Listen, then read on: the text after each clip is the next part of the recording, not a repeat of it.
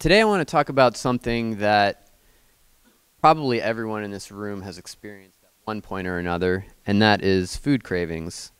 This is a topic that I think is really important because it has such a profound impact on our eating behavior and ultimately our waistlines and our health. I also think it's a really good illustration of how we can bring together modern neuroscience with an evolutionary perspective to gain insights into ourselves insights into how we tick.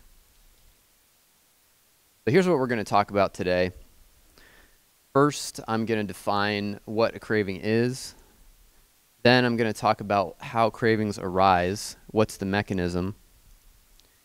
Then I'm going to talk about which foods trigger cravings the most, so sort of a brief literature review on that. And then I'm going to give you some broad principles on how to manage cravings.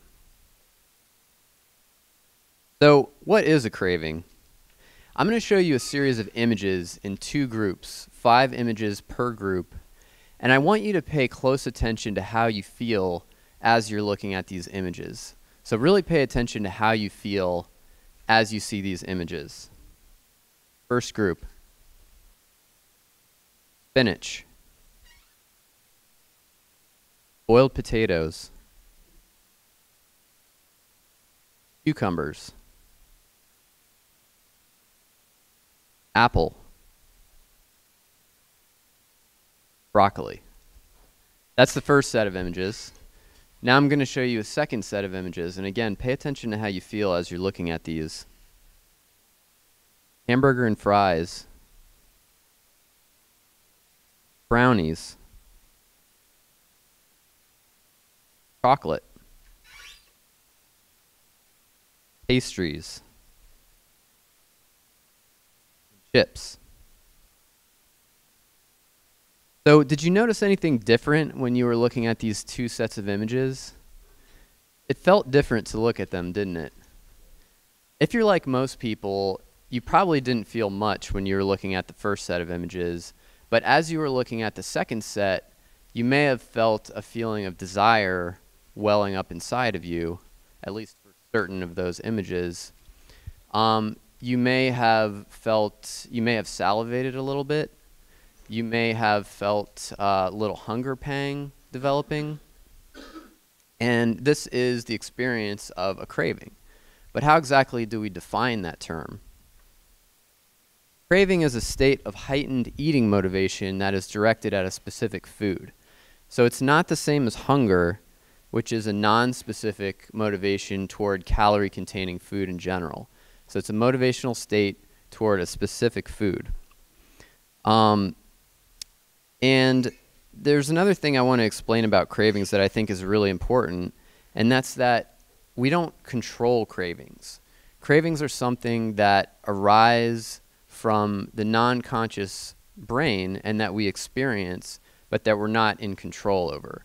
We're not in control of. So we can control our behavior in response to cravings, but we can't control when or how we experience that state. So, how does this happen? What's the mechanism? Well, to begin to answer this question, and since this is the Ancestral Health Symposium, I'm going to take an evolutionary perspective on this.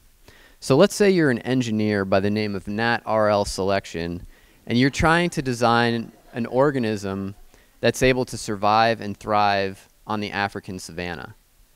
You know a few things to start off with. You know that energy is critical for survival and reproduction. So your organism is going to have to be efficient at obtaining energy. Second, you know that the primary forms of available energy are carbohydrate, fat, and protein, if you're an animal and not a plant. So you have to design your organism to have an intrinsic hardwired motivation to seek and consume carbohydrate, fat, and protein to fuel itself. But it's not always obvious on the surface which foods contain carbohydrate, fat, and protein. So you also have to wire your organism to be able to learn through experience which foods supply those substances. And furthermore, your organism has to be able to tune its motivational level to match the value of the item. So it's worthwhile perhaps to hunt an antelope for three days, but it's not worthwhile to go on a foraging expedition for three days for a handful of berries. So the organism has to be able to match the motivational level to the value of the food item. And what I'm going to show you in this talk is that roughly speaking, this is how humans are wired. This is how it works. When we eat food, that food enters our digestive tract, goes into the stomach, and then to the small intestine. And the small intestine contains receptors for a great number of things in our food, but the ones that we're interested in today are sugar, starch, fat, protein, salt, and glutamate.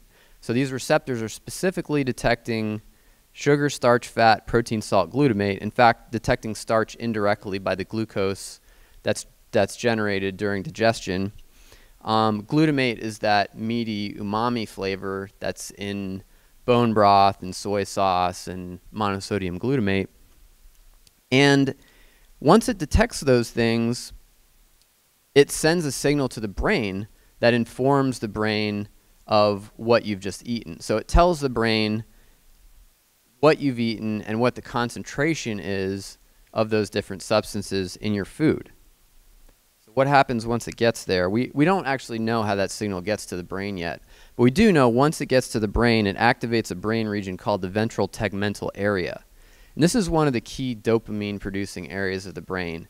And this is really um, the, the primary area that produces the dopamine that motivates us and that causes our cravings.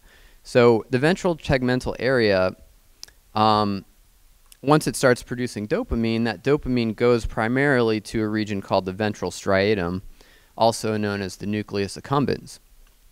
And the ventral striatum is really intimately involved in generating motivational states, basic motivational states, and cravings, which are a type of motivational state. So whether it's sex or drugs or gambling or food or whatever the motivational state is, whatever the craving is, the ventral striatum is going to be involved in that. So dopamine starts to spike in the ventral striatum, and the more concentrated those nutrients are that we saw in the last slide, the higher the level of dopamine you're going to get in your ventral striatum, and the more pronounced the motivational state. So this is just another way of showing the same thing. We have the ventral striatum illustrated on the brain, and then below we just have a synapse with some dopamine coming out of it. Um, so what happens when that when that dopamine starts to spike in your ventral striatum? Well, it does a couple of things. The first thing it does is it creates a motivational state, creates and, and accentuates the motivational state to keep doing the thing that you're doing as the dopamine spiking. So if you're eating that pizza, you're going to be really into eating more of that pizza and perhaps having another slice or three. Um, but the second thing it does is even more important. It causes you to learn. And to explain how this happens, I'm going to go back to a key experiment that many of you are probably familiar with that was performed by Ivan Pavlov in dogs. So dogs, when they see a food, especially a food they really, really like, they start to salivate and they get really excited, right? So, food activates a motivational and a digestive preparatory state in dogs that causes them, that motivates them to obtain and eat the food and prepares their body for digesting it. However, if you ring a bell around a dog, it doesn't really mean anything to it. That's a, a meaningless sensory stimulus. So, what Pavlov did was he showed that if he consistently rang a bell at the same time as he fed the dogs, he did this over and over again so that the dogs came to associate the sound of the bell with the food, and that bell became a reliable predictor of the food. After that training, he could ring the bell by itself and it would activate that same excitement and that same salivation that he saw toward food initially. So the dogs learned that this sensory stimulus predicted food and it activated a motivational and digestive state. And this is basically how it works in humans as well. So when that dopamine starts to spike, your brain starts to really pay attention to what's going on in your surroundings. It notes very carefully, and this is all on a non conscious level, it notes the smells that are happening, the tastes that are happening, the texture of the food. It notes the appearance of the food, triangular shape of the slices and the round pepperonis and the box it came out of.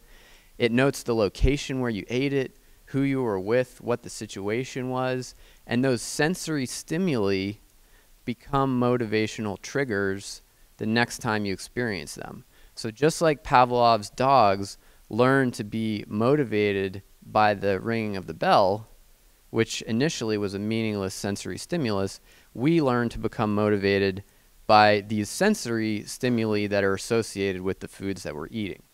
And so the next time you smell that smell, the next time you go to a place where you've eaten pizza before, etc., it gets your dopamine spiking again and it activates that motivational state. In other words, it causes a craving. And so uh, the more concentrated are these nutrients here in your food, the higher your dopamine is going to go, and the more it's going to drive this eating reinforcement craving cycle. And this is really I think, uh, a major driver of our eating behavior, or at least of many people's eating behavior in the modern world. But one thing I want to emphasize about this that I think is really important is that this happens for all foods, not just junk foods. This happens for apples, this happens for salmon, this happens for uh, collard greens with, you know, salt and oil. This happens for everything. But certain foods, by virtue of their physical and chemical properties, drive this cycle more than others. And a lot of our modern foods basically drive it too hard and motivate us too much to to eat them, and that can drive um, consumption of unhealthy food and overconsumption of food. So this system is not broken in the modern world. It's doing exactly what it was designed to do. The problem is we're giving the system the wrong cues through the foods that we're eating, which are too calorie dense, too refined, and too hyper palatable. Um, and as well as having a food environment that's constantly feeding the system cues that are spiking our dopamine and spiking our motivation. Food cues like images of food on TV, smells of food as you're walking down the street, etc. All right, so now I want to show you uh, a little bit about how this works in real life as I was doing the research for my book, I had the good fortune of being able to participate in uh, an fMRI experiment. So this is functional MRI. Basically, it's a non-invasive way of looking inside your brain and seeing what parts of your brain are being activated. And so I'm laying in this fMRI machine with a uh, an inflatable cap around my head to really hold my head still and I'm looking at images of food on a screen. So I'm perceiving sensory stimuli that are reminding my brain of food on a screen. And there's three different types of images I'm looking at. I'm looking at, and they're, they're all mixed together randomly. I'm looking at images of calorie dense, highly palatable foods, things like um, pastries, pizza, potato chips. I'm looking at low calorie healthy foods like strawberries, celery, and apples. And I'm also looking at non food items like shoes and cars. And basically, we're using those because there's a certain brain activity that happens when you're just looking at images in general. And so you can use that data to kind of divide out all of the noise that's happening when you're just looking at something and specifically look at the brain activity that's happening when you're looking at food. And so here's an image of what was going on in my brain when I was looking at the junk food. And this is illustrating my brain at the level of the ventral tegmental area. Again, this is a part of your brain that makes that dopamine that's really involved in motivating you to eat food. Um, there's another thing I want to mention about this before we proceed, and that is that I skipped two meals and rode my bike to the medical center for this experiment. So I I wanted to put my brain in a really in an energy depleted state so that it would respond especially strongly to food. Um, and so, as you can see in this image, uh, where the arrow is pointing, that's my ventral tegmental area. If you look at the scale bar on the top, you can see that my VTA is, is quite strongly activated, as well as some associated regions in the, in the forebrain that it projects to. In contrast, when I was looking at the healthy food, there was a lot less activation. And um, actually, that, that little dot there is not quite in the right place. It's a little, little too far um, down. So I'm not sure that's even the VTA. So my brain clearly was not as interested in, uh, in the healthy food. And that was even more pronounced when we looked at my ventral striatum, also known as nucleus accumbens. So, and these, by the way, these are really small brain regions, so you, you shouldn't expect to see like a big blob. Um, but what you should look at is the level of activation. And again, if you look at the scale bar, my ventral striatum was on fire when I was looking at that junk food. And also, again, um, associated forebrain structures. In contrast, when I was looking at the healthy food, there was not a whole lot going on. You can see there's no activity whatsoever in my ventral striatum. And this is actually typical of the studies that are done by my colleague Ellen Schur, who um, helped me with this experiment. Um, we, our brains respond more to foods that are more calorie dense, that are higher in these substances that I was talking about, and particularly when we're in an energy depleted state. So when you're hungry, when your brain perceives that you're in an energy depleted state, it doesn't want to eat low calorie foods. It's not that interested in low calorie foods. It wants to eat something really calorie dense that's going to efficiently uh, replete your your energy stores. And you know, one one thing I want to add that I forgot to mention in the earlier slides, those substances that I was talking about that motivate us, that the brain really pays attention to, every single one of those is a form of carbohydrate, fat, or protein, except salt. That's the only exception on that list. So the brain is very, very attuned to substances that are delivering calories to the body, presumably because of the evolutionary context where calories were a really important driver of natural selection um, and reproductive Okay, so what I've just shown you is that humans do have an intrinsic motivation for carbohydrate, fat, and protein. We have the ability to learn which foods supply them through dopamine mediated reinforcement. And we have the ability to tune our motivation level to match the value of the item because the amount of dopamine that's released is proportional to the concentration of those nutrients that are being detected in the gut. So this satisfies all the criteria we were uh, proposing earlier. So now let's move on to the second section and look at which foods trigger cravings the most. So we're all good scientists here, so I'm gonna I'm gonna do a little bit of scientific method here. And um, so we have our hypothesis. I laid out my hypothesis in the previous section. So now I'm going to try to test that. And the way you test a hypothesis is you make predictions based on it, and then you see if the evidence corresponds to those predictions. So here are my predictions. I predict that foods that trigger the most dopamine release should trigger cravings the most. Those are foods that are concentrated in sugar, starch, fat, protein, salt, and glutamate. And particularly that these things should trigger cravings when they're combined. So when multiple reward buttons are being pushed by the same food, that should trigger cravings even more. So what I've done is I've done a little brief literature review and I've looked up papers that are relevant to this question in humans. And there are a few different ways we can look at this. But the two primary ways are one, you just ask people what are the foods that you crave the most, and then you rank them. And the second one is you can look at addiction like behaviors, which addiction is very similar to craving. The mechanism is, is basically the same, very similar. Um, and you can say which foods are driving your addiction like behaviors. And then there's a third way I'm going to throw in that's a lot more indirect, and that is just saying what do people eat in the modern United States what's the average diet like and how well does that match up to the predictions that we might make based on the things that spike dopamine. So, in the first study, researchers asked 1,000 male and female college students what their most intensely craved foods were. And this is a ranked list here. We can see that uh, number one is chocolate. That's a pretty consistent finding. Then we have pizza. Then we have chips, popcorn, and pretzels, ice cream, sweets other than ice cream.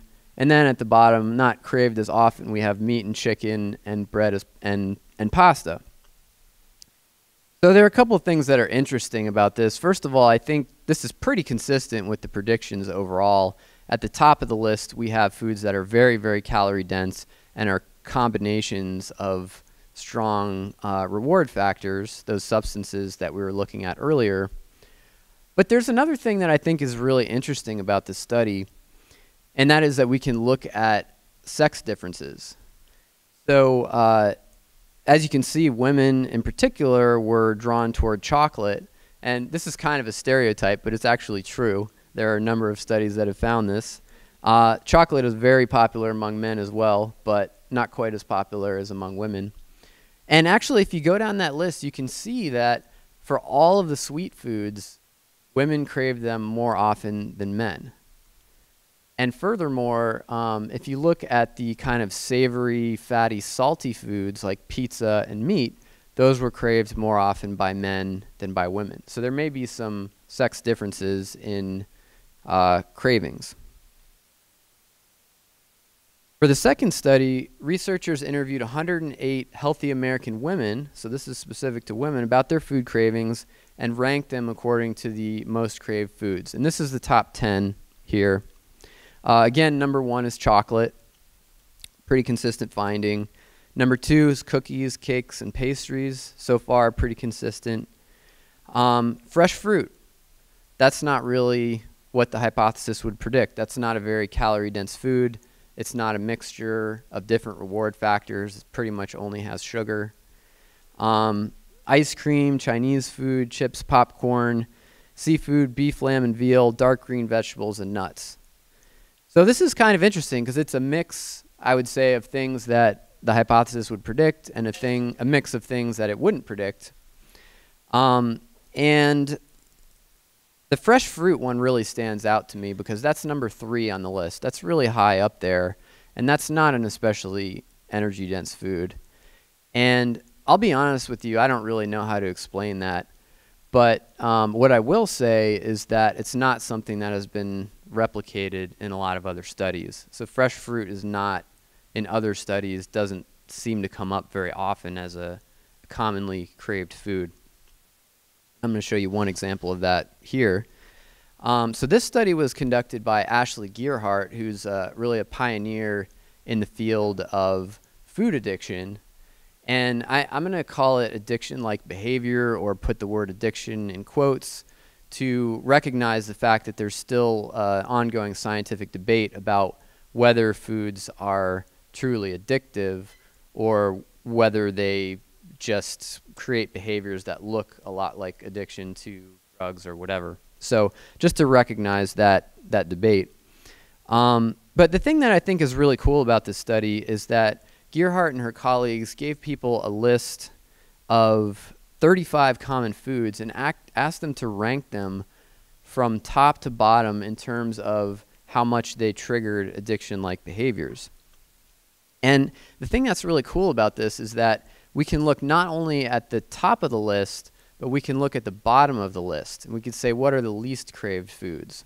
And so, what I've done here is I've copied and pasted the top 10 on the left and the bottom 10 on the right out of the total of 35. And so again, chocolate's number one. No surprise there. This is, by the way, this is men and women together. Um, ice cream, French fries, pizzas, cookies, chips, cake, buttered popcorn, cheeseburgers, and muffins. This to me is is just exactly what the hypothesis predicts. These are all extremely calorie dense combinations of concentrated rewarding nutrients that we saw in in the earlier slide. Now, if we look at the least craved foods, we have apples and bananas, so that's two fresh fruit. Um, so that doesn't correspond to what we saw in the last slide. Um, we have plain corn, salmon, plain carrots, plain brown rice, water, plain cucumber, broccoli, and plain beans. So there are a couple of interesting things about this that I want to point out. First of all, you know, obviously this is consistent with the hypothesis, but the second thing I want to point out is those foods on the right, you could make a healthy diet out of that. I mean, those foods are a lot better for you than the ones on the left.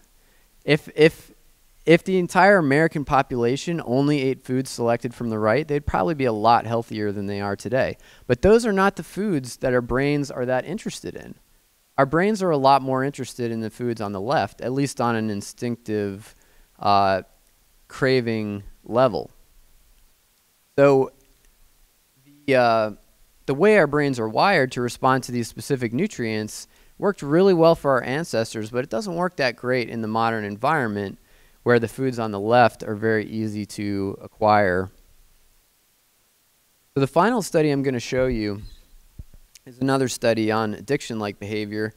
Researchers administered questionnaires to 1,495 Dutch college students asking about symptoms of food addiction and which types of foods were drove those symptoms the most. And then they broke it down into four categories. So high fat savory, this is things like chips and fries and meat and cheese. High fat sweet, which is things like cake and chocolate and pastries. Uh, low fat sweet or mainly sugar, this is things like hard candy, soda, and dried fruit. And low fat savory, which is things like rice cakes, crackers, vegetables, and bread. And what you can see is that by far the most uh, commonly reported cravings were for the high fat savory and the high fat sweet categories. So, again, these are mixtures of concentrated rewarding nutrients. There were many fewer people reporting cravings for uh, foods that were primarily sugar and foods that were um, primarily uh, low fat savory, like bread and that sort of thing. So, people did report, sorry, I shouldn't say cravings addiction like behaviors. So people did report addiction like behaviors to the mainly sugar and low fat savory categories, but it was a lot less common. And so I think this is also very consistent with the hypothesis that these uh, calorie dense mixtures of these nutrients are the things that trigger the cravings and the addiction like behavior the most strongly. So the last source of data I'm going to consider is simply survey data on, or I should say questionnaire data on the diet, the typical diet of the U.S. population. So th these are uh, data from uh, the USDA Dietary Guidelines for Americans report. These are as of 2006. This is pretty credible data. Um, and they have these ranked in the order of greatest to least calorie contributions in the American diet. This is the top 10. So these are the top 10 foods that Americans are getting their calories from. Number one, grain based desserts. So this is things like pastries and cookies and cake. I kid you not, that is the number one source of calories in the US diet. It's really pretty shocking. Um, yeast breads. Bread is actually quite calorie dense. We don't think about it that way because it's full of air, but when you chew it, the air goes away and it's very, very dense in carbohydrate. A lot of people also don't know this, but it's the primary source of salt in the American diet. Um, chicken and chicken mixed dishes, that includes fried chicken, soda energy sports drinks, in other words, sugar water, pizza, booze, pasta, tortillas, burritos, tacos, beef and beef mix, mixed dishes, and dairy desserts, in other words, ice cream. So, you know, not all of these foods, I would say, correspond exactly to what the hypothesis predicts. But you have to consider that the brain doesn't just respond to dopamine. The brain responds to a lot of different incentives, and some of those are things like cost and convenience. So we wouldn't expect our diets to only be driven by dopamine reinforcement. However, I think given that, this list is actually quite consistent with dopamine playing a very uh, key role in our behavior. So, just to review this section, characteristics of food that commonly trigger craving and addiction like behavior are mixtures of concentrated starch, sugar, fat, protein, salt, and glutamate. Um, and the most commonly craved foods are fatty and sweet foods or fatty and savory foods such as cookies, chocolate, cake, pastries, and ice cream, and pizza, fried chicken, cheese, and chips. Low fat savory, and sweet foods are less common but still craved, such as bread and crackers and hard candy and soda. And so I think this is very consistent with the hypothesis that our food choices are guided in large part by dopamine release in the brain. And this is a, a picture of the chemical structure of dopamine. And the reason that our brains and our bodies are set up this way is that dopamine is responding to the food properties that kept our ancestors alive and fertile. Now, I want to give a couple of brief tips on how to manage cravings. So, if you're trying to quit smoking, you don't leave packs of cigarettes laying around, you don't go to smoky bars, you don't hang around with your friends who smoke, you don't expose yourself to those cues. These are cues that get your dopamine spiking and trigger cravings that can be hard to control. So the first step is to limit your cue exposure. And there are a lot of places cues can come from. Um, the food industry uses cues to try to ring Pavlov's bell and stimulate our motivation to purchase their foods. So avoiding food cues on television and things like that is helpful. Um, and also controlling your food environment at home and at work. So we do it to ourselves by exposing ourselves to food cues in our own kitchens and at our work. So you don't want to expose yourself to the sight or the sound or sight or the smell or other cues associated with food, especially foods that are tempting. The second major principle is to focus on simple, unrefined foods. Things like fruits, meats, vegetables, oatmeal, yogurt, potatoes, and sweet potatoes don't have the real high concentration of those nutrients that spike your dopamine and they're not going to they're going to be less likely to drive your motivation to an excessive level. So just eat simple unrefined foods. And one last tip I'll give you is that just like we forget all kinds of things in our lives, we forget you know, we learn all the state capitals in middle school and we gradually forget those. We forget the 10th digit of pi but um, the non-conscious pr- parts of the brain also forget and so those reward associations that you've formed if you don't continue to reinforce those by continuing to eating continuing to eat those foods they will gradually fade over time and have less and less power over you so the take home points for the talk are most food cravings are simply dopamine reinforced motivations Concentrated sugar, starch, fat, protein, salt, and glutamate create and maintain cravings. The most commonly craved foods are fa- fatty and savory, like chips, or fatty and sweet, like chocolate. And to manage cravings, limit your exposure to food cues and focus on simple, unrefined foods. I'd like to thank a few people who played key roles in this talk. Some people who did research that um, made large contributions to this are Anthony Sclafani, Ivan de Araujo, Wolfram Schultz, and Ellen Schur. Shizuka Aoki was the illustrator who I hired to do illustrations for my book. Um, I showed one of her illustrations earlier in the talk. Ellen Schur, Susan Melhorn, Mary Askren, and the University of Washington Diagnostic Imaging Sciences Center was kind enough to uh, do that fMRI experiment on me. And if you enjoyed this talk and you want to see more of my work, you can go to stephanguyenet.com. Thank you.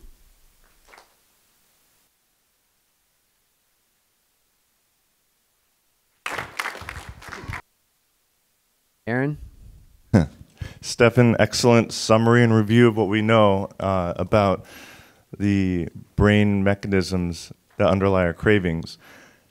Being uh, an expert in the field of Pavlovian learning and those areas, one thing I also know is that it's really hard. Once you acquire these associations, it's really hard to extinguish them, and they can persist for years. So the forgetting point that you mentioned is good, but one thing I want to maybe also raise is that the idea that maybe once a week, once a month, you know, uh, those of us on uh, trying to follow a whole foods paleo template type of diet say, okay, we're gonna have that what some people call a cheat day, or I'm gonna you know relax and have something I normally don't have. Those intermittent pairings can reactivate an old, forgotten memory or even an extinguished association and re uh, and it can come back full strength. And so I just want everybody to realize that it could be very a very nefarious problem to try and really rid yourselves of the cravings you've acquired for these hyper palatable foods. Yeah, thanks for that, Aaron. Thanks for adding that. Um, and yeah, it's really interesting, and it, it raises a tough dilemma because you know, at least from my perspective, I don't I don't really want to be a drill sergeant with people. I don't want to tell people don't ever eat, you know, a slice of pizza, don't ever eat a brownie. I want people to have a healthy relationship with food where they could eat it every now and then. But I mean, what you're saying is absolutely right, um, and I, I, think that's absolutely right. And in fact, I have a little anecdote um, about this. Those of you who have kids have probably experienced things like this, but I have a friend who uh, who has a son. He's very young. He's like uh, one and a half, maybe.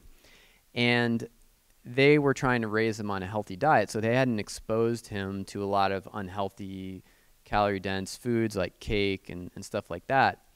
And while they were away on vacation, my friend's uh, dad was taking care of the child and gave him a little piece of a donut. Just a little piece, like really little piece and the kid would not stop talking about it. Every day it was donut, donut, donut. And, uh, and whenever my friend would have a bagel, the kid thought it was a donut. and so, yeah, those things, they really make an impression on the brain. It's very powerful.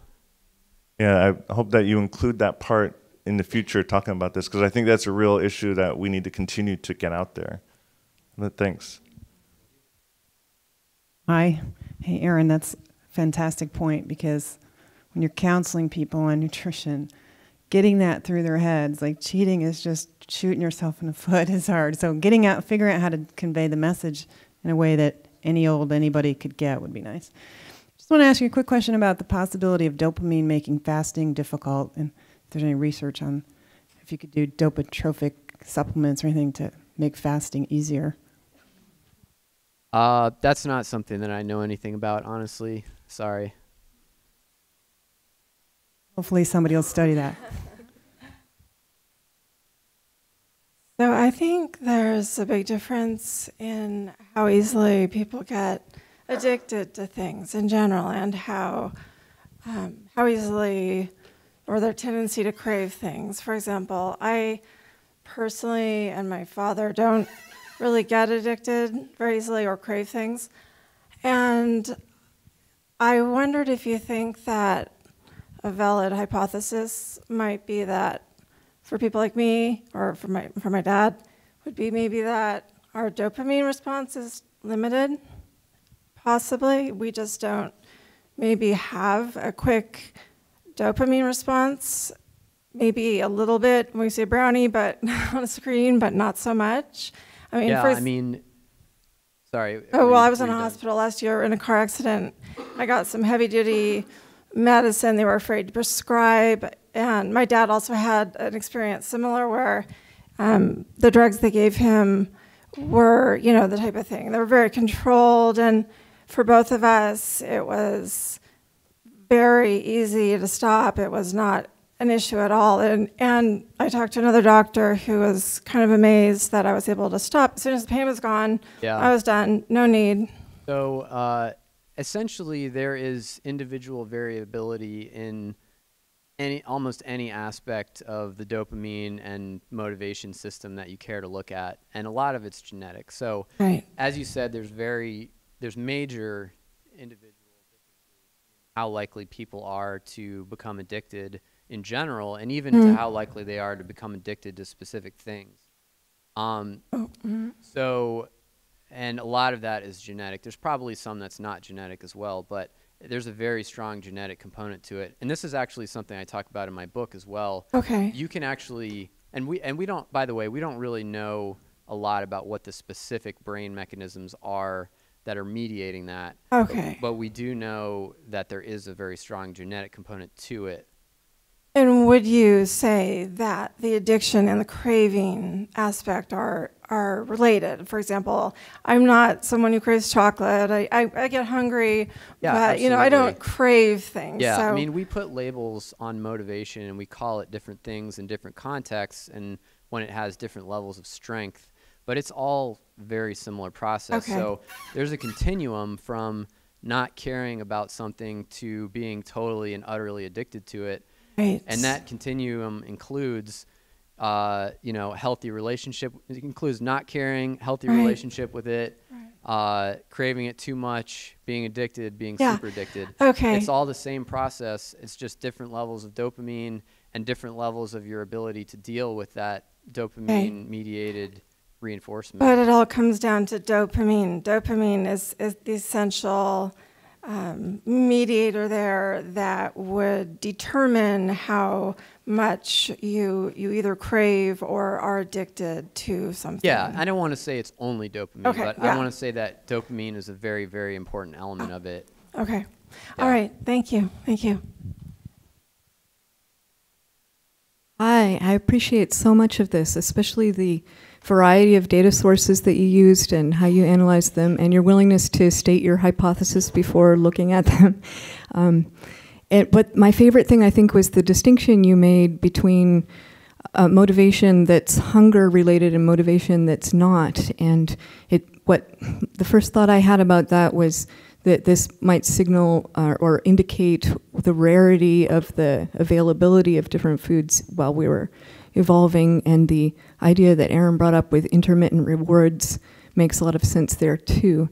Um, but what I was wondering is if um, what also struck me was things that are motivated by hunger also seem to be demotivated by satiety that comes into play, whereas the foods that you're that you're identifying as highly crave sensitive don't seem to have that satiety setting in. Can you speak to that?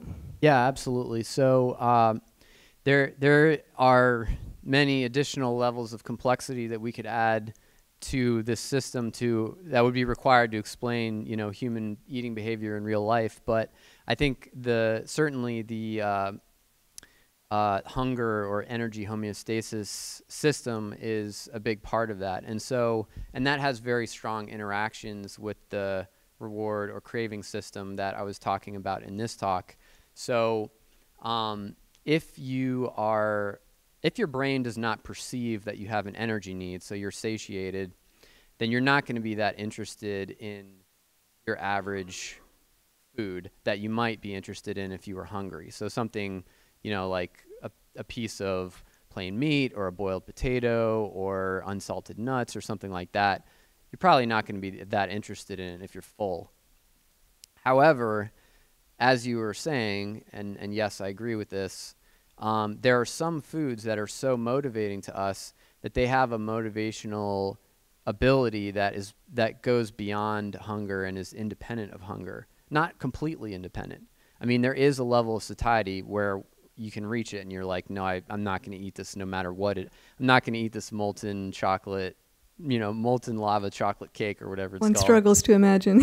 um, yeah, there's a point, but you have to get pretty far down the satiety line. I mean, you have to be pretty stuffed to get to that point for most people to say no to dessert.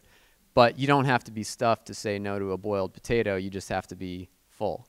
So yeah, there there are really important interactions between those two things. And again, it's a continuum. It's it's not black and white whether a food is where food's going to fall on that continuum.